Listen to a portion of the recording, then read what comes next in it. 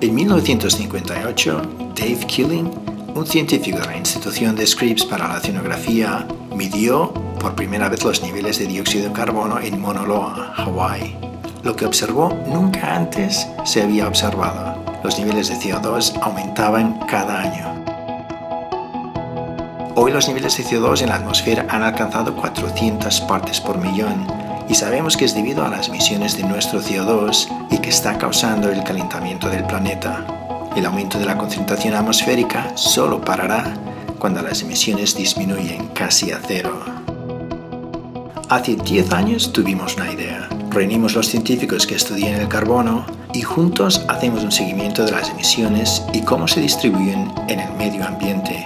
Miramos en la atmósfera, en los océanos, en los bosques y en las sociedades humanas. Y aquí presentamos el balance de carbono del planeta para el 2015. Recientemente las emisiones de carbono han aumentado muy rápidamente, al nivel de 2,4% por año. Nuestras investigaciones demuestran que para evitar la continuación del calentamiento global, tenemos que reducir emisiones muy rápidamente. Si las emisiones continúan creciendo, el calentamiento alcanzará niveles peligrosos para nuestra sociedad. Sin embargo, este año parece que las emisiones han tomado un curso diferente. Las emisiones en el 2014 crecieron muy poco y parece que disminuirán en el 2015. Hay dos razones para este cambio.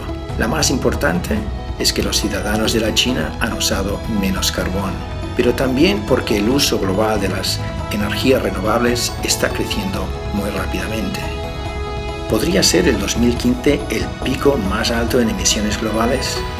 Aunque la tendencia de los dos últimos años es favorable, todavía estamos emitiendo grandes cantidades de carbono cada año, alrededor de 36 mil millones de toneladas del uso de combustibles fósiles.